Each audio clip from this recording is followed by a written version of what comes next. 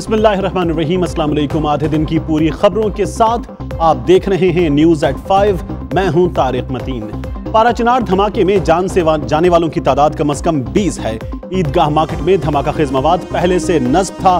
Political इंतजामिया के मुताबिक धमाका सब्ज़ी मंडी में हुआ। धमाका खेज मवाद एक बोरी में रखा गया था। धमाके के जख्मी एजेंसी हेडक्वार्टर अस्पताल मुंतकिल किए गए। शदीद जख्मी पिशावर के लेडी रीडिंग अस्पताल मुंतकिल कर दिए गए। यानी शाहिदीन के मुताबिक धमाके के वक्त लोगों की बड़ी तादाद सब्ज़ी मंडी में मौजूद थी, यहाँ खरीदारी कर रही थी। पाक फौज के तर्जुमान ने यह बताया कि धमाका सुबह आठ बजकर पचास मिनट पर हुआ। हुआ फौज और एफसी की क्विक रिस्पांस फोर्स ने इमदादी काम अंजाम दिए और फौजी हेलीकॉप्टर्स के ज़रिए जख्मियों को अस्पताल पहुँचाया, जहाँ आज ये धमाका हुआ। कमोबेश इसी मकाम पर एक साल आठ दिन पहले भी धमाका हुआ था। तब भी 20 से ज़्यादा अफराद जान बहक हुए थे, तब भी कमोबेश, ऐसी ही सूरत हाल का सामना करना पड़ा था। इस सिलसिले में सबसे पहले जानेंगे, मेरे साथ मौजूद है 92 न्यूज़ पेशावर के मुमताज़ बंगश। इस मामले की मुसलसल कवरेज करते रहे अपनी टीम के साथ। मुमताज़ बंगश, मुझे ये बताइए अब जब हम ये रिपोर्ट कर रहे हैं तो साथ ही ये भी देखना होगा कि कमोबेश एक साल आठ आठ दिन पहले यही मकाम था, इसी नौयत का धमाका था। जान से जाने वालों की तादाद भी तकरीबन इसके आसपास थी। सबक क्या सीखा? तब भी एजेंसी हेडक्वार्टर अस्पताल में सहूलतें नहीं थी आज भी वैसी ही सूरत हाल है तब भी सिक्योरिटी ऐसी ही थी, आज भी सिक्योरिटी वैसी ही है। जी, बिल्कुल तारिक, ये जिस वाक्य का आप ज़िक्र कर रहे हैं, ये दिसंबर 2015 में पेश आया था। इसमें तकरीबन 28 अफराद लुकमैजल बने थे। सिर्फ़ यही नहीं, इससे थोड़ा अर्सा पहले इसी किस्म का एक धमाका हुआ था। पाराचिनार ही में, उसमें कोई सत्तावन के करीब अफराद जो है वो जाबाक हो गए थे। और इस किस्म के धमाकों का सिलसिला अब भी वही, वहीं पे जारी है। लेकिन इन धमाकों से न तो वहाँ पॉलिटिकल इंतज़ामिया को कोई ख्याल आया और ना ही हुकूमत को, ना ही फाटा की उमूर संभालने वालों को कोई ख्याल आया कि वहाँ कम अज़ कम जो अस्पताल है, उसकी हालत ही बेहतर बनाई जाती। ठीक है, अस्पताल के ट्रामा रूम की इमारत तो बेहतर बनाई गई है लेकिन वहाँ पे जो सहूलियात हैं, वो तकरीबन अब भी ना होने के बराबर हैं। तकरीबन डेढ़ सौ बिस्तरों पर मुश्तमिल एजेंसी हेडक्वार्टर हॉस्पिटल है पाराचिनार में, और उसमें जो ट्रामा रूम है, उसमें तकरीबन 22 बिस्तरों की गुंजाइश है। लेकिन सूरत हाल यह है कि जिस अस्पताल में सर्जन तक मौजूद ना हो, कोई नेवरो सर्जन ना हो तो ऐसे अस्पताल में जब धमाके का कोई जख्मी वहाँ पे पहुँचता है तो आप खुद अंदाज़ा लगा लें कि उनकी क्या सूरत हाल होगी। वहाँ पे ट्रामा रूम तो मौजूद है लेकिन ट्रामा रूम में जो सहूलियात होनी चाहिए, वो मौजूद नहीं है। इसलिए जो सीरियस किस्म के मरीज़ हैं, उनको या तो लाया जाता है टल सीएमएच और या फिर आगे कोहाट तक पहुँचाया जाता है। यानी तकरीबन अगर पिशावर तक आए या कोहाट तक आए तो उन्हें चार से तकरीबन छः घंटों का सफ़र तय करना पड़ता है। ऐसे में अगर शदीद ज़ख्मी है तो ज़ाहिर है वो रास्ते ही में दम तोड़ देते हैं और यूँ उनकी बचने की उम्मीदें उधर ही दम तोड़ जाती हैं जब उनको एंबुलेंस में आ, डाला जा रहा होता है। मुमताज़ आज भी ये हुआ आज भी ये हुआ कि कुछ जिंदगियाँ शायद बचाई जा सकती थी जो इस सफ़र के दौरान अपने आखिरी सफ़र पर रवाना हो गई। जी, बिल्कुल, आज भी तकरीबन इसी किस्म की सूरत हाल का सामना था। आज जब ये धमाका हुआ तो उस वक्त सिर्फ़ तीन एम्बुलेंसें वहाँ पे मौजूद थी। अब इतनी इतनी बड़ी तादाद में जख्मी थे और उनको इस सब्ज़ी मंडी और अस्पताल के दरमियान फासला अगरचे थोड़ा है, लेकिन जब एंबुलेंस ही अवेलेबल ना हो तो ज़ाहिर है लोग अपनी मदद के तहत उनको कोई एक तरफ़ लेके जा रहा होता है, कोई उन्हें पिशावर मुंतकिल करने की कोशिश कर रहा होता है। रेस्क्यू का वहाँ पे बदकिस्मती से कोई इदारा मौजूद नहीं, कोई ऐसी सूरत हाल नहीं है कि कम अज़ कम जो अपनी मदद के तहत वहाँ लोग काम कर रहे होते हैं, उनको ये बता सकें कि किसी दूसरे धमाके का खतरा है या नहीं है। वहाँ पे कोई इस किस्म की का बंदोबस्त नहीं है। तो तीन एम्बुलेंसेज के ज़रिए जितने जख्मियों को पहुंचाना था वहाँ वो तो पहुँचा दिए। बाकी जो अपनी मदद के तहत लोग अपनी गाड़ियों में ज़िम्मेदारी की सूरत हाल देखने में मुमताज़ बंगश बहुत बहुत शुक्रिया आपका इन तमाम तर अपडेट्स के लिए आपका। इसी बारे में बात करेंगे। मेरे साथ मौजूद हैं गवर्नर खैबर पख्तूनखा जनाब ज़फ़र इकबाल झगड़ा साहब बहुत शुक्रिया झगड़ा साहब आपके वक्त का। फरमाइए सबसे पहले इस अफसोसनाक वाक़े पर आपके तासुरात जानना चाहेंगे। चुनार में आज जो वाक़ हुआ वो उस पर जितना भी अफसोस किया जाए वो कम है।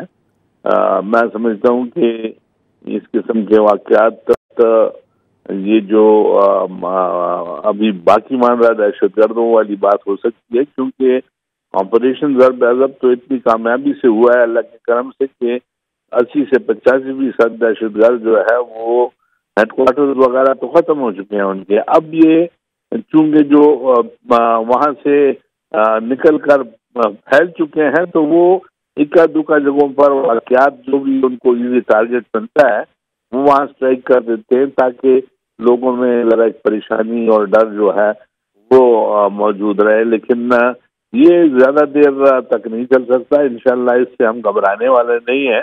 हमने जिस तरह हर गजब के थ्रू इनका खात्मा किया, इसी तरह जो बाकी मानना इनकी ये स्ट्रेंथ है। ये अब देखें फौज ने तो अपना काम कर लिया है और दूसरी एजेंसीज भी कर रही हैं। लेकिन अब जो सिविल कम्युनिटी है हमारी जो आम शहरी हैं उनको एक किरदार ये, ये फरमाइए कबायली इलाके आपके डोमेन में आते हैं। मनसब संभालने के बाद से अब तक आपने इन इलाकों में सिक्योरिटी सिचुएशन बेहतर बनाने के लिए किया क्या है और क्या आपकी राय में करना बाकी है अभी? जी बात यह है कि सिक्योरिटी अरेंजमेंट्स के लिए जब से ये सिलसिला शुरू हुआ है आपने देखा कि ऑपरेशन जरब अजब इतनी कामयाबी से हुआ और उसके बाद जो जो इलाके क्लियर हो गए हैं, वहाँ पर हमारे लेवीज की जो फोर्स है, वो उसको भी वहाँ एक्टिव किया गया है और उसके अलावा आम, आर्मी जो है अभी, वो भी अपने ये नहीं कि वो फुली फुल आउट कर गए हैं। वहाँ उनकी जो सिक्योरिटी अरेंजमेंट के लिए जो फोर्स चाहिए, वो वहाँ मौजूद है। इंटेलिजेंस एजेंसियाँ हमारी मौजूद हैं, जो ऑफ़ एंड ऑन हर एक चीज़ पे नज़र रख रही है। और अल्लाह के कर्म से कोई भी चीज़ इस तरह हो तो फली रिपोर्ट हो जाती है। हमारे यहाँ पहले देखें, ये सूरत हाल थी कि पाटा एरिया तो क्या सेटल्ड एरिया में शहर में कोई नहीं फिर सकता था। आज सेट आज अब पाटा एरिया में भी मैं खुद जाता हूँ वहाँ प्रोग्राम भी किए हैं और वहाँ अल्लाह के कर्म से हम मिनिमम सिक्योरिटी भी गए हैं और फिरे हैं अल्लाह के कर्म से कोई मसला पेश नहीं आया। तो अगर सिक्योरिटी ना होती तो फिर ये, ये लेकिन देखिए ना यही यही मकाम साल भर पहले भी दहशत गर्दी का निशाना बना था। आ, ना सिक्योरिटी की सिचुएशन कहीं हम, बेहतर हुई। ना यहाँ एजेंसी हेडक्वार्टर अस्पताल की हालत बदली है, उसमें अब भी सहूलतें नहीं है। ऐसा क्यों है?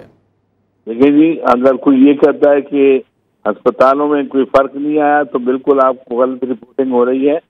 हॉस्पिटल में भी फ़र्क आया है एजेंसी एडवाइजरी सिक्योरिटीज में भी इम्प्रूवमेंट हुई है। हर एंगल से इस चीज़ को मद्देनजर रख के, इसीलिए आज हम कह सकते हैं कि आज तो भाई आप कोई आम आदमी भी बगैर सिक्योरिटी चला जाए तो उसको कोई परवाह नहीं है वहाँ। ये मैं दावे से कह सकता हूँ कि जो फाटक एरिया है वो तो अब सेटल्ड एरिया से ज़्यादा सेफ़ हो चुका है वहाँ अल्लाह के करम से। तो कोई अगर आपको ये गलत रिपोर्ट देता है तो वो वैसे ही आ, मैं समझता हूँ कि वो पैदा करने के लिए शकूक पैदा करने के लिए कर रहा होगा वरना अदरवाइज़ अल्लाह का करम है आप खुद आके वहाँ पर इस चीज़ को मॉनिटर भी कर सकते हैं और देख भी सकते हैं। ठीक बहुत शुक्रिया गवर्नर मुमताज़ बंगश एक बार फिर मेरे साथ मौजूद मुमताज़ बंगश जो गवर्नर साहब दावे से कह रहे हैं फाटा में वहाँ के हालात के बारे में आ, ये दावा कितना दुरुस्त नज़र आता है? आप उन इलाकों में खुद जाते हैं कवरेज के लिए। आ, ये दावा कितना दुरुस्त है? जी बिल्कुल गवर्नर के साथ खुद भी पारे चिनार जाने का इतफाक हुआ। इसके अलावा दीगर एजेंसियों की तरफ़ भी अब जाते रहे हैं। जहाँ तक सिक्योरिटी फोर्सेस का ताल्लुक है, उनकी तरफ़ से काफ़ी काम किया गया है। मिसाल के तौर पर सड़कें बनाई गई हैं। वहाँ जो रसाई नाकबिल रसाई वाले इलाके थे, वहाँ तक रसाई हासिल की गई है। लेकिन अस्पतालों की हालत को बेहतर बनाना और वहाँ डॉक्टरों और स्टाफ की फराहमी की ज़िम्मेदारी दरअसल गवर्नर की है, गवर्नर सेक्रेटेरिएट की है, फाटा सेक्रेटेरिएट की है। इस सिलसिले में अभी तक कुछ भी नहीं हुआ। जो तीन साल पहले अस्पताल में स्टाफ था, वही स्टाफ है। इजाफी स्टाफ की फराहमी मुमकिन नहीं बनाई गई। पोस्टें तो क्रिएट कर ली गई हैं, उसकी मंजूरी भी दी गई, लेकिन उस पर स्पेशलिस्ट डॉक्टर्स अभी तक मौजूद नहीं है। अगर अस्पताल की इमारत बनाई जाए और state of the art trauma room बनाया जाए लेकिन उसमें सर्जन मौजूद ना हो उसमें न्यूरो सर्जन ना हो। तो मेरा ख्याल है गवर्नर साहब बात कर रहे थे वो अदा हुई है। लेकिन जो खुद उनकी अपनी ज़िम्मेदारी थी वो अदा नहीं हुई। बहुत शुक्रिया मुमताज़ मंगश आपका और बात करें बदीन की, जहाँ आज इंसानियत शर्मा गई। इंसान शर्मा गया, बच्चे ना देखें, स्क्रीन पर लिखने वाला मीडिया शर्मा गया। लेकिन लगता है कि शर्म नहीं आई तो महकमा सेहत सिंध को शर्म नहीं आई। आज बदीन में खातून अस्पताल के बाहर बाहर जजगी के मराहल से बगैर तिब्बी निगहदाश्त के तड़प तड़प कर गुजारती नहीं अस्पताल इंतजामिया डेढ़ दो घंटे कागज़ी कार्रवाई पूरी करती रही, लेकिन खातून को दाखिल नहीं किया।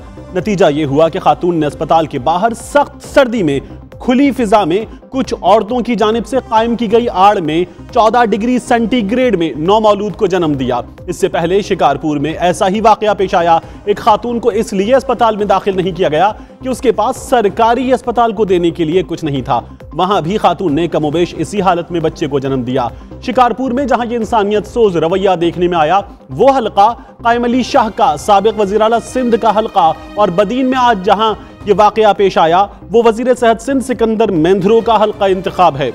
शीरानी का इलाका, जहाँ से ये खातून ताल्लुक रखती हैं, वो वज़ीर सेहत सिंध का हल्का इंतखाब है। जिस अस्पताल में ये वाकया पेश आया, वहाँ civil surgeon doctor Kausar Mendhro, वज़ीर सेहत सिंध के भाई हैं और कौसर मेंधरो ही डिस्ट्रिक्ट हेल्थ ऑफिसर का चार्ज भी अपनी जेब में रखते हैं। इस बारे में पहले जानेंगे। मेरे साथ राजा शकील मौजूद हैं। बदीन से हमारे नुमाइंदे। शकील, ये कहा गया हुकूमत की जानब से कि कोई इस कदर गफलत का मुजाहरा नहीं किया गया।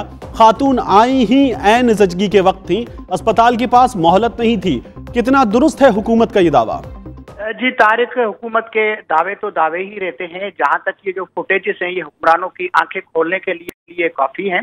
ये जो हल्का है वो डॉक्टर सिकंदर मंदरो सूबाई वज़ीर सिंध का है और आज इसके हल्के में ही जो एक हवा की बेटी तस्लील का शिकार हुई है। जिस तरह फुटेज में देखा जा सकता है कि हमला खातून हॉस्पिटल में जचकी के लिए आई और उसके साथ जो अस्पताल इंतजामिया ने रवैया रखा। तारीख ये जो बदीन सवाल हॉस्पिटल है ये हाल राजेश शकील मैं आपको इस वक्त इंटरप्ट करूँ क्योंकि डॉक्टर सिकंदर साहब खुद भी मेरे साथ मौजूद हैं। डॉक्टर साहब बहुत शुक्रिया आपके वक्त का।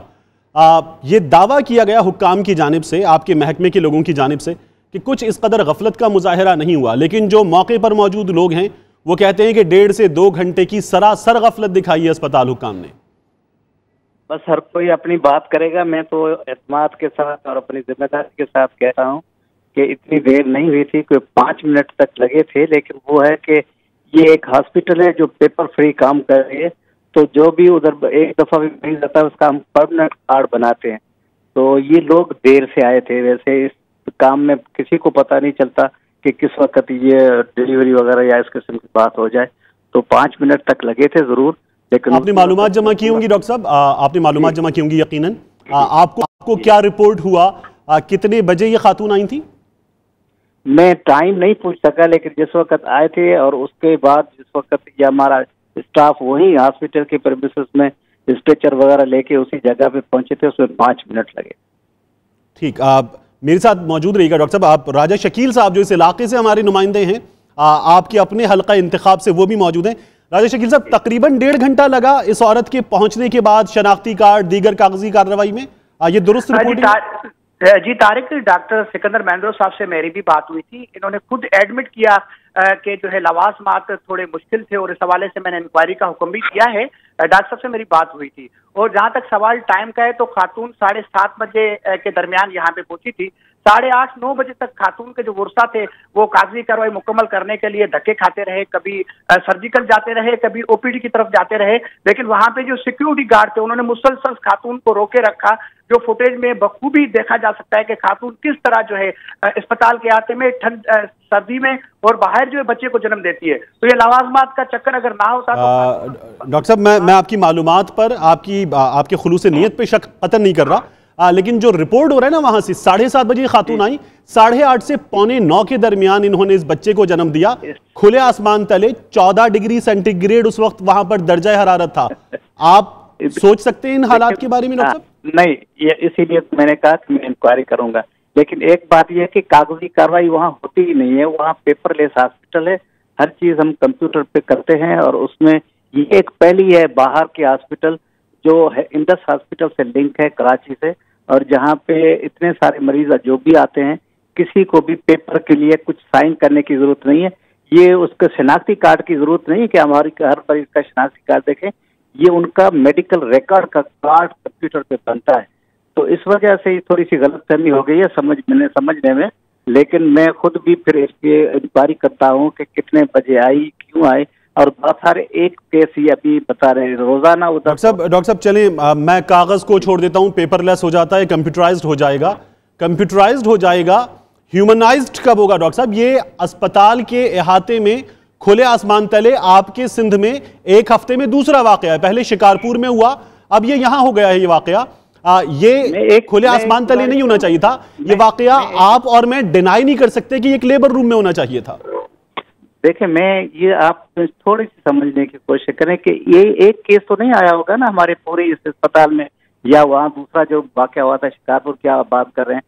ये रोज़ाना होती हैं रोज़ाना डिलीवरीज होती हैं रोज़ाना लेबर रूम होते हैं रोज़ाना सी सेक्शन होते हैं। लेकिन मैं कहता हूँ कि ये specific डॉक्टर साहब क्या मरीजों की बहुतात इस बात का जवाज है कि ये वाकयात हो? जी देखिए ना आप अगर मैं दूसरी बात करूँगा आप पता नहीं उसको किस सेंस में लेंगे। मैं तो ये कहता हूँ कि जो इस किस्म की तकलीफ़ होती है डॉक्टर साहब मैं मैं किसी सेंस में नहीं लेना चाहता दोबारा माजरत। मैं किसी सेंस में नहीं लेना चाहता।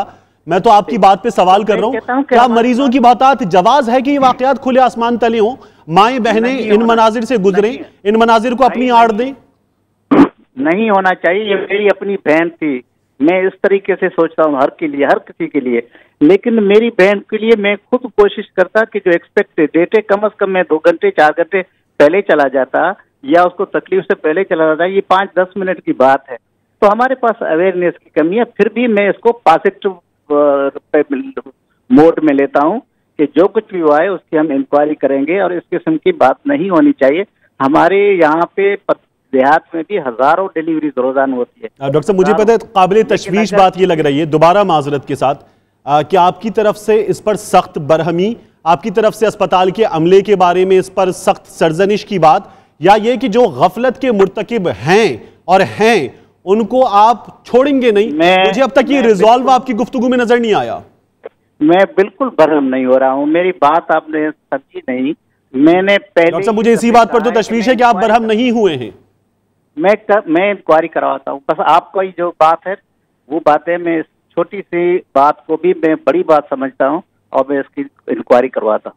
डॉक्टर साहब क्योंकि पता है आप पर इस बात पर भी तनकीद की गई है मैं यहाँ की जो डिस्ट्रिक्ट हेल्थ ऑफिसर हैं आपको सिंबॉलिक लेना चाहिए था इसको। ये आपका हल्का इंतखाब है। यहाँ के डिस्ट्रिक्ट हेल्थ ऑफिसर आपके भाई हैं वही यहाँ के सिविल सर्जन हैं।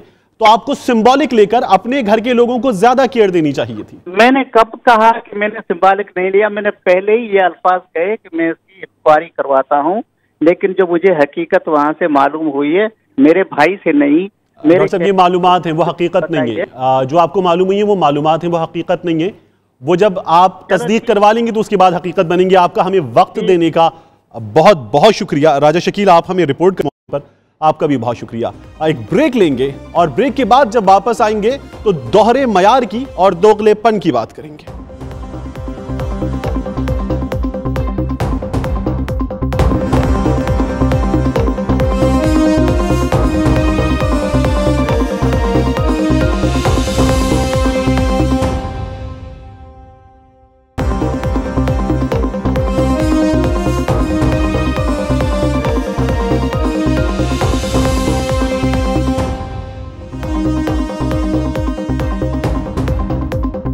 Welcome back to news at five औरत खातून जन्नत है। इज़्ज़त है, रहमत है। अगर वो माँ है तो उसके कदमों तले जन्नत है। अगर बहन है तो रिदा है। बेटी है तो हया है।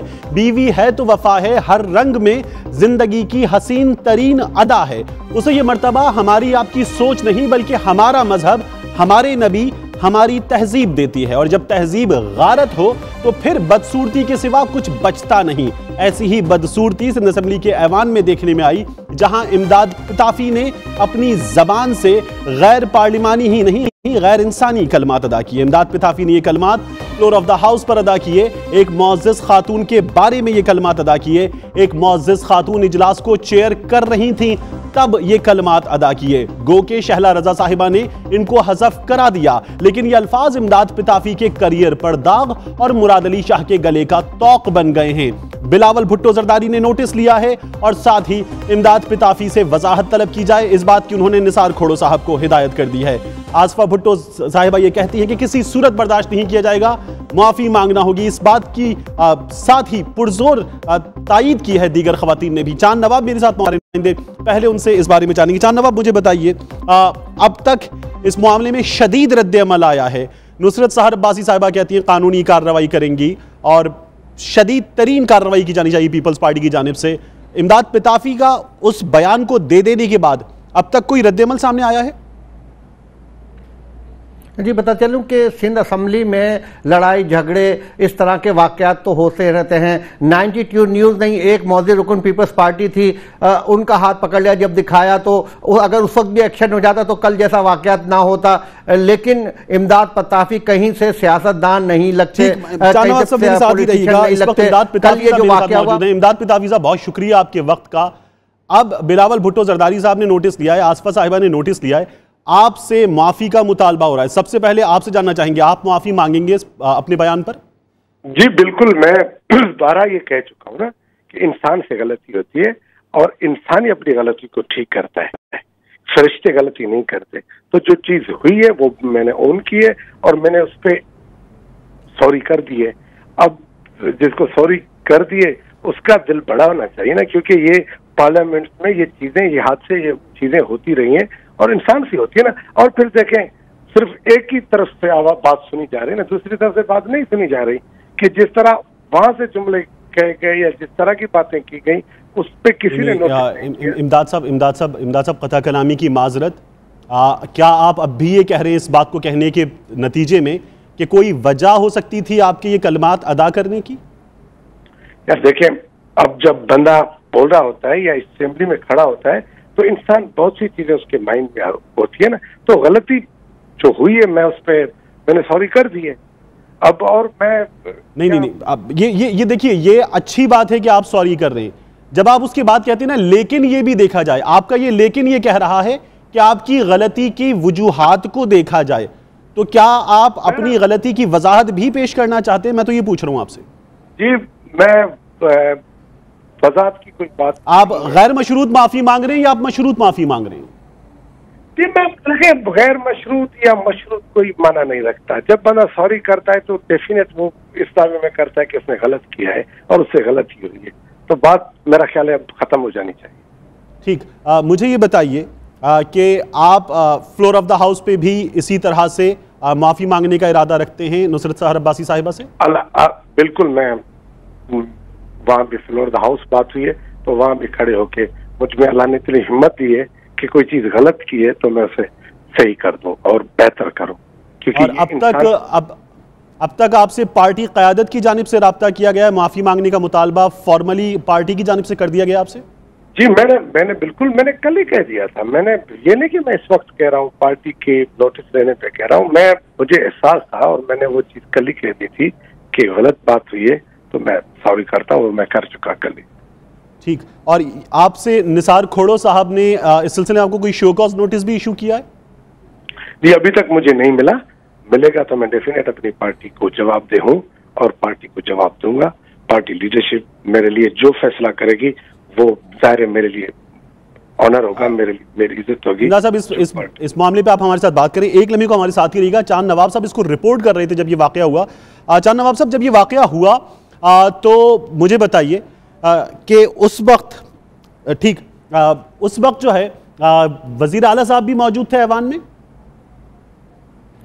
हाँ जी बता चलो मतीन देखिए वज़ीर अला हाउस द लीडर होते हैं वज़ीर अला भी मौजूद थे जब ये खिताब कर रहे थे क्योंकि नुसरत शहर अब्बासी एक मौजूद रुकन है और कोई भी जो है कौन सी माँ कौन से शोहर कौन सी बीवी इस तरह सियासत में भेजेगी जिस तरह इमदाद पत्ताफी ने कल बयान दिया। वजी अला अगर खड़े हो जाते कि नहीं इमदाद पत्ताफी तुमने नुसरत शहर अब्बासी के लिए गलत जुमले बोले तो बात हो जाती लेकिन जुमले हदफ करने से बिल्कुल बात खत्म नहीं हो जाती क्योंकि पूरा माशरा सिंध में खातन वैसे ही गाँव गोटों में नहीं पढ़ाया जाता शहर में पढ़ाया जाता। है कौन है जो अपनी को माँ को या बहन को सियासत में लेकर आएगा। मेहताब राशदी साहिबा मेरे साथ मौजूद है। मेहताब पिताफी साहब कह रहे हैं कि उन्होंने पहले ही माफ़ी मांग ली थी। ऑन एयर भी वो पूरे पाकिस्तान के सामने इस वक्त ये कह रहे हैं कि उनसे गलती हुई है। आप वो माफ़ी मांग रहे हैं बात खत्म हो जानी चाहिए। मैं सबसे पहले आपका रद्द अमल जानना चाहूँगा। ये है कि ये चीज़ जो है वो असेंबली के फ्लोर पे कही गई थी। और सबसे बेहतर बात ये होगी कि कल परसों जब ये इजलास दोबारा आता है तो उनको वही उनको माफ़ी मांग लेनी चाहिए ताकि फ्लोर में क्योंकि असेंबली के रिकॉर्ड पे ये चीज़ आनी चाहिए। तो इमदाद साहब इमदाद साहब आप मेहताब साहिबा को भी बता दीजिए अभी आपने पूरे पाकिस्तान को ही बताया कि आप फ्लोर ऑफ़ द हाउस पे भी तैयार हैं मेहताब साहब हमारी बड़ी बहन है और बिल्कुल मैंने मैं पहले कह चुका कि वो असेंबली के फ्लोर पे बात हो जाएगी। जी जी। बस तमाम करो अनफॉर्चुनेट इहो थियो आहे इंसिडेंट अला करे तो वो जी अहिड़े ई नमूने सां ख़त्म थी वञे ऐं हर का शइ बहितर थी वञे मेहताब साहिबा साथ ही ये मुतालबा किया गया नफीसा शाह साहिबा की जानब से दीगर की जानब से कि मुआफ़ी मांगी जाए। अब मुख्तलिफ़ हल्के ये भी कह रहे हैं आ, कई सीनियर सहाफ़ियों ने कई तजियाकारों ने ये कहा है कि इमदाद साहब जो हैं सिर्फ़ मुआफ़ी पर बात नहीं रुकनी चाहिए। मुआफ़ी जो है वो बराबर करेगी इमदाद साहब को इस अमल की सजा भी मिलनी चाहिए। आप इस बात से ये ये ये ये फैसला जो है ये आइन करेगा और जिनके साथ ये हुआ है देखिए कल से ये बहुत सारी चीज़ें हो रही हैं। आसमा जहांगीर ने कुछ बात बताई उन्होंने कहा ओम्बट्समैन जो है इसका नोटिस ले देखिए बहुत सारी चीज़ें हैं। लेकिन बात सिर्फ़ ये है कि हमें अपनी गुफ्तगु में मोहतात होना पड़ता है अपने रवैयों में मोहतात होना पड़ता है और अगर जिनके साथ ये चीज़ हुई है वो भी सोच लें और देख लें और इस तरह की चीज़ हो जाए और ऐवान में हो जाए तो फिर मेरा ख्याल है उसका हल वहीं निकलना है। ठीक। और इमदाद साहब आपके मामले में अब किस बात के लिए तैयार हैं आप? मुआफ़ी के लिए तो तैयार हैं ये बहुत अच्छी बात है। आप फैसला अगर सज़ा का होता है और आपकी रुकनीत के हवाले से वजारत के हवाले से किसी हवाले से फैसला होता है? ये देखें ये अख्तियार मेरी पार्टी को है मेरे चेयरमैन साहब को है मेरे को चेयरमैन को है मेरी लीडरशिप को है। वो जो मेरे लिए डिसाइड करेंगी वो मेरे लिए बेहतर होगा क्योंकि मेरी ये चीज़ें सब पार्टी की अमानत है। हमारी पर्सनल कुछ भी नहीं है। ना पहले था ना अब है। मेहताब साहब ये ये फरमाइए अब ये अब ये कहा जा रहा है कि बिलावल साहब का अभी चंद लम्हे पहले का बयान आसफा साहिबा का तकरीबन एक घंटे पहले का बयान। आ, ये कुछ 28-30 घंटे बाद के बयान हैं। वज़ीर ऐवान में मौजूद थे। फौरी तौर पर क्या किया जाता कि बात यहाँ तक ना आती? जी फौरी तौर पर मैंने तो कल ये कहा था कि सबसे पहले तो जो हमारी ऐवान चला रही थी डिप्टी स्पीकर साहिबा उनको फ़ौरन मामले की नज़ाकत का इदराक होना चाहिए था और वहीं अगर वो पिताजी साहब को रोक लेती हैं और कहती कि ख़त्म करें और तो वही एक्सपंज तो उन्होंने करा दिए थे अल्फाज। नहीं एक्सपंज एक्सपंज नहीं होता है ना ये बात उससे कहीं आगे बढ़ गई। लेकिन जब हाउस में सीएम साहब बैठे थे वही खड़े होके और वही वो कह देते कि इनसे कह देते कि एक्सक्यूज कर लें, या खुद उनकी तरफ़ से कह देते तो फिर भी बात वहीं खत्म हो जाती। और वो जो बिलावल साहब और दूसरे लोगों ने ये नोटिस लिया है, वो मेरा ख्याल है कि सिविल सोसाइटी की तरफ़ से इस चीज़ पर इतना शदीद रद्द अमल आया है कि उनको भी बीच में बात करना पड़ी, वरना वो इन चीज़ों की तरफ़ वो आते नहीं हैं। तो इसलिए जब ये सही कह रहे हैं, उनकी पार्टी फैसला करेगी कि क्या करना है। ठीक। इमदाद पिताफी साहब, आपका, मेहताब साहिबा, आपका बहुत शुक्रिया। देने के लिए और इमदाद पिताफी साहब का ये कहना कि वो फ्लोर ऑफ़ द हाउस पे भी उसी तरह से जिस तरह से उन्होंने कलमात अदा किए थे, सबके सामने मुआफ़ी मांगने को तैयार हैं और उनके बारे में जो भी फैसला पार्टी करेगी उन्हें कबूल होगा। ये एक मुनासिब बात है। आगे बढ़े, आपको बताएँ, हुकूमत ने सुप्रीम कोर्ट में तिलोर के शिकार की गैर मुल्कियों को इजाज़त को सिफारती टूल करार दिया तो इस बात को कड़ी तनकीद का निशाना बनाया गया। तनकीद करने वालों में पाकिस्तान तहरीक इंसाफ के चेयरमैन इमरान खान सबसे आगे थे। इमरान खान ने 11 दिसंबर को कहा था कि वो वज़ीर अला खैबर पख्तूनख्वा से कहेंगे कि सूबे में तिलोर के शिकार की इजाज़त ना दें। ये गैर कानूनी है। तिलोर की नस्ल खतरे से दो चार है। अब खुद पार्टी के M P A Samiullah Alizai ने और उनके कज़न जिला नाजिम डियाई खान अजीजुल्ला अलीजई ने तलोर और नायाब हिरन के शिकार के लिए सिंध का रुख कर लिया है। शिकार की गए तलोर और हिरन की खाल के साथ शिकारियों की तस्वीर भी मंजर पर आ गई हैं। सवाल यह है कि क्या सिंध में यह शिकार गैर कानूनी नहीं या सिंध में तलोर की नस्ल को लाक खतरात कम हो जाते हैं? जिस तरह इमरान खान साहब ने अपने ट्विटर पैगाम में कहा था और वज़ीर अला खैबर पख्तूनख्वा से आ, कहा था कि वो मुतालबा करेंगे। इस बारे में मजीद जानेंगे मेरे साथ सबसे पहले मुश्ताक गनी साहब सूबाई मुश्ताक साहब बहुत शुक्रिया आपके वक्त का। फरमाइए समीउल्ला अली जई साहब के खिलाफ अब क्या किया जाएगा? क्योंकि इमरान खान साहब ने 11 दिसंबर को कहा था कि वो वज़ीर अला को कहेंगे केपी में इजाज़त ना दी जाए। ये गैर कानूनी है ये शिकार। अब अली जई साहब ने ये शिकार किया है। देखिए बात यह है कि ये पहली बात तो यह है कि ये के पी के में शिकार नहीं हुआ। और यहाँ पाबंदी बिल्कुल बरकरार है और यहाँ किसी भी कानून से बालातर नहीं है खा मिनिस्टर हो या मुश्ताक साहब बहुत माजरत में आपको आपकी कथा कलामी कर रहा हूँ। ये पाबंदी पूरे मुल्क में बरकरार है। हुकूमत ने खसूसी इजाज़त गैर मुल्की मेहमानों कतरी शहजादों के लिए दी है। आ, तो अगर आप कह रहे हैं कि ये शिकार केपीके में नहीं हुआ तो आप जस्टिफाई कर रहे हैं शिकार को? मैं जस्टिफाई नहीं कर रहा। मैं ये कह रहा हूँ कि ये केपीके की हदूद में नहीं हुआ और मैं जो बात कर रहा हूँ मैं केपीके के हवाले से बात कर रहा हूँ तो आप ये कह रहे हैं कि आपके रुकने असेंबली अगर किसी दूसरे सूबे में कानून तोड़ेंगे तो आपकी असेंबली पूछेगी नहीं? बात यह है कि ये सिंध में हुआ है और गेम रिज़र्व में हुआ है और मीरपुर खास के किसी इलाके में हुआ है। लेकिन अगर जिधर भी हुआ है तो वहाँ की हुकूमत को चाहिए कि उनके खिलाफ एक्शन ले ले। अगर उन्होंने कानून की खिलाफ वर्जी की है तो सिंध गवर्नमेंट एक्शन ले ले। हमारे सूबे में होता तो अभी तक हम एक्शन ले चुके होते नहीं मुश्ताक गनी साहब ये आपकी पार्टी के एमएनए ने आपके जिला नाजिम ने किया है। आप ये कह रहे हैं कि ये कानून की खिलाफ वर्जी अगर आपका कोई एमपीए मफरूजा है अगर आपका कोई एमपीए पंजाब में चोरी कर लेगा तो आप कहेंगे पंजाब कार्रवाई कर ले हमारी असेंबली कोई कार्रवाई नहीं करेगी। देखें असेंबली की कार्रवाई से इससे कोई ताल्लुक नहीं है। पंजाब की हुकूमत को चाहिए कि अगर वहाँ कोई चोरी करता है या तीन सौ दो को चलिए मैं सवाल बदल लेता हूँ मुश्ताक अली साहब मैं मैं आपके लिए आसान कर देता हूँ। क्या इस बात की आप मुजम्मत करेंगे फ्लोर ऑफ़ द हाउस पे भी और यहाँ पर भी आप मुजम्मत करते? देखिए बात यह है कि मेरे अभी उस तरह मेरी कोशिश की थी मेरी अलीजे साहब से बात होने की मेरी बात नहीं हो सकी कि वो असल हकीकत क्या है। लेकिन असल बात यह है कि कानून पूरे मुल्क का अगर ये इससे मना करता है तो कानून की पाबंदी असल हकीकत इस वक्त नाजरीन देख रहे हैं नाइडू न्यूज़ की तस्वीर पर। असल हकीकत है चार लोगों का चार टांगों से पकड़ा हुआ हिरन। असल हकीकत है अली जईक साहब का उनके कज़न का उठाए हुए परिंदे। यह है असल हकीकत। आप कह रहे हैं कि आपका उनसे रबता नहीं होता? असल हकीकत पूरा पाकिस्तान देख रहा है। मैं एडवोकेट नहीं कर रहा। मैं बिल्कुल अली जई साहब को एडवोकेट नहीं कर रहा। मैं ये कह रहा हूँ कि जहाँ पे जुर्म हुआ है वहीं पे इसके खिलाफ कार्रवाई भी होगी। यही कानून कहता है। हमारे सूबे में जुर्म हुआ है तो हमारे सूबे में कार्रवाई होगी। सिंध में जुर्म हुआ है तो सिंध की हुकूमत ने कार्रवाई करनी है। लेकिन कानून की पासदारी बारकैफ हर एक के लिए है। कानून से बालादार कोई भी पूरे मुल्क में नहीं होना चाहिए। ठीक है आपकी असेंबली कोई मिसाल कायम करेगी? मेरा सवाल ये था आपसे। देखिए असेंबली का तो हर हर इशू तो असेंबली का इशू नहीं है। और अगर असेंबली में कोई इशू लाता है इसको तो डिबेट हो जाएगा। वहाँ पे भी अली जई साहब खुद अपनी वजात पेश करेंगे। कि उन्होंने सिंध में ये कानून तोड़ा है या क्यों तोड़ा है या कैसे तोड़ा है? या सिंध की हुकूमत ने एक्शन लेना था या क्यों नहीं लिया? ठीक है मैं तो मुश्ताक साहब मुश्ताक साहब मेरे साथ रहेगा मैं आपसे मैं आपसे मुश्ताक साहब मुझे मेरे साथ रहेगा मैं कथा कलामी दोबारा कर रहा हूँ। मैं आपसे एक सवाल और करना चाहूँगा। फिदा आदिल साहब मेरे साथ मौजूद है इस मामले को कवर कर रहे हैं। फिदा मुझे ये बताइए अली जई साहब ने कोई मौकफ दिया? इतने फख्र के साथ उन्होंने पेश कर दिया अपने आप को और इसे बहुत काबिल फख्र चीज़ दिखा दिया। कोई मौकफ दिया जब ये सब कुछ हो रहा है? जी तारिक हमारी उनसे बात करने की हमने कोशिश की, लेकिन उनके जो तीनों मोबाइल नंबर्स हैं, जो उनका एक लैंडलाइन नंबर है, उस पर कोई जवाब नहीं आया। तीनों उनके नंबर बंद जा रहे थे। उनका फातिहाना अंदाज में जो तस्वीरें हैं, वो सोशल मीडिया पर इस तरह आना और बाकायदा तलोर जो नायाब नस्ल है, वो परिंदे पड़े हुए हैं इन तस्वीरों में। नायाब हिरन का उन्होंने शिकार किया। पॉइंट ये है, जिस तरह मुश्ताक गनी साहब कह रहे हैं कि वहाँ पे हो सकता है, वहाँ उन्होंने इजाज़त ली हो।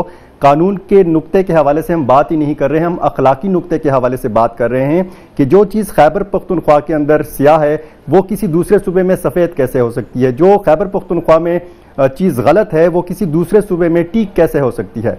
सवाल यहाँ पर अखलाकी हवाले से बनता है कि अगर इमरान खान ये चाहते हैं कि तलोर की के शिकार पर पाबंदी होनी चाहिए। और जब ये जगह देने से इनकार कर दिया था खैबर पख्तनख्वा हुकूमत ने महकमा जंगली हयात ने तो ये कहकर बाकायदा इजाज़त देने से इनकार कर दिया था कि जो नायाब नस्ल के जो परिंदे हैं, उनकी शिकार की इजाज़त नहीं दी जा सकती, चूँकि इस नस्ल के परिंदों को या नायाब जानवरों के का जो उनकी जो नस्ल है, उनको ख़तरात लाक हैं। अगर खैबर पख्तनख्वा में इन जानवरों को या इन परिंदों को ख़तरात लाक हैं तो वही खतरात सिंध में भी हैं पंजाब में भी हैं बलोचिस्तान में भी हैं। नुकता असल में ये है फिदा फिदा मुझे एक मिनट मौका दीजिएगा। मैं मुश्ताक साहब आपसे जानना ही चाह रहा था। जो कुछ ये किया है अली जई साहब ने ये गलत है? देखिए बात यह है कि अगर उन्होंने वहाँ से परमिशन ली है और उन्होंने परमिशन दी है जो कि असूलन नहीं देनी चाहिए एक नायाब परिंदा है तो उसकी परमिशन कैसे हम तो कतरी शहजादों के भी खिलाफ थे कि उनको क्यों परमिशन दी? और हमने अपने सूबे में बिल्कुल रास्ते बंद कर दिए थे कि हम किसी सूरत शिकार नहीं करते थे मुश्ताक साहब आप गुंजाइश पैदा करते हुए दिखाई दे रहे हैं मुझे। मैंने मेरा आपसे सवाल था ये सही है गलत है? क्या इसकी कोई जस्टिफिकेशन हो सकती है? देखिए मैं मेरे मेरे सूबे में इसकी कतन कोई जस्टिफिकेशन नहीं है कोई नहीं कर सकता और सिंध में तो क्या किसी दूसरे सूबे में जस्टिफिकेशन हो सकती है? एक्शन ले सिंध की गवर्नमेंट मैं तो ये कह रहा हूँ कि अगर उनके कानून के खिलाफ है तो एक्शन ले। परमिशन उन्होंने दी है तो मुश्ताक साहब मैं मैं परिंदों का शिकार मुश्ताक साहब मैं परेशान हूँ। आप ये कह रहे हैं कि आपके सूबे में जस्टिफिकेशन नहीं है तो क्या किसी दूसरे सूबे में जस्टिफिकेशन हो सकती है उस काम की जो आपके यहाँ गलत है? जी के मेरी बात शायद आप नहीं समझ सके। मैं यही कह रहा हूँ कि एक नायाब परिंदा है उसमें उसके अंदर पूरे मुल्क के अंदर पाबंदी है कि इसके शिकार मना है। तो उनको परमिशन भी नहीं लेनी चाहिए थी अगर किसी ने दी है तो देनी भी नहीं चाहिए थी। और इसका और परमिशन की बात इस वक्त तक आपका मफरूजा है। मुश्ताक साहब परमिशन की बात इस वक्त तक आपका मफरूजा है कि शायद उन्होंने परमिशन ले रखी है? देखिए मैं तो अपने सूबे की बात कर सकता हूँ मैं सिंध की बात तो कर नहीं रहा।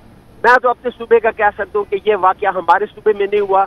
हमारे सूबे में होता तो अभी तक अलीजई साहब के खिलाफ एफ़ आई आर दर्ज होती ठीक और आप ये कह रहे हैं कि अगर ये हुआ है तो सिंध गवर्नमेंट हिस्सा ले एक्शन ले। आप खुद इसको गलत नहीं कहेंगे। मैं बिल्कुल कह रहा हूँ कि नायाब परिंदा है इसका शिकार गलत है नहीं करना चाहिए। अली जई साहब ने गलत किया है? अगर उन्होंने किया तो बिल्कुल गलत किया। आ, ये जो तस्वीरें हैं ये मैं दिखा रहा हूँ हम मुसलसल दिखा रहे हैं। आपका अगर जो है वो फिर जस्टिफिकेशन पैदा कर रहा है। आ, ये आ, उनकी फक्र के साथ तस्वीरें हैं। ये वो बाकमाल दिखा रहे हैं इन तमाम तस्वीरों में इस एक शानदार शिकारी दिखा रहे हैं। हर चीज़ हर चीज़ के लिए इन्वेस्टिगेशन की ज़रूरत होती है। मैं बिल्कुल एडवोकेट नहीं कर रहा। हमारे वो एम पी ए हैं हमारे डिस्ट्रिक्ट नाज, नाजम थे वो वहाँ पे। आ, उन्होंने किया है। अब अब बात यह है कि तफ्तीश से पता चलेगा कि क्या ये अब की तस्वीरें हैं क्या ये दो साल पहले की तस्वीरें हैं कब की हैं? मेरे नोटिस पे तो नहीं है कब की। इन इन नायाब परिंदों का मुश्ताक साहब मेरा तो सवाल इसलिए था कि आपकी जमात के सरबरा इमरान खान साहब ने 11 दिसंबर को ट्वीट किया कि I am going to speak to the CM KP और मैं उनसे कहूँगा कि बिल्कुल इजाज़त न दी जाए। नस्ल मादूम हो रही है इसकी हमारे नाजिन ये ट्वीट दे, देख रहे हैं इमरान खान साहब का। नस्ल मादूम हो रही है इस परिंदे की और इसका शिकार गैर कानूनी है। जो मैार आपकी जमात के सरबराह ने कायम किया है उस मैार के खिलाफ अगर कुछ हो रहा है तो आप जस्टिफाई कैसे कर सकते हैं? बिल्कुल, मैं किसी चीज़ को जस्टिफाई नहीं कर रहा। जस्टिफाई तो तब हो कि मैं इस बात की हिमायत कर रहा हूँ कि ये जो बहुत अच्छा कदम उठाया उन्होंने जो शिकार किया मैं तो यही कह रहा हूँ कि ये जब मना है इसके ऊपर, इमरान खान का ट्वीट आपने दिखाया, बिल्कुल सही है। हमारे सूबे में वजी अला ने फ़ौरन उसके ऊपर एक्शन लिया। उन्होंने कहा कि किसी सूरत में भी हम तलोर का शिकार नहीं होने देंगे और अगर ये गलत है तो इसी तरह से एक गलत बात पर मुश्ताक साहब आपको भी फ्लोर ऑफ़ द हाउस पे बात करनी चाहिए। हम इस बात की तो रखते हैं। आज के न्यूज़ एट पे तारिक मतीन आपसे ज़्यादा चाहता है पीर को हाजिर।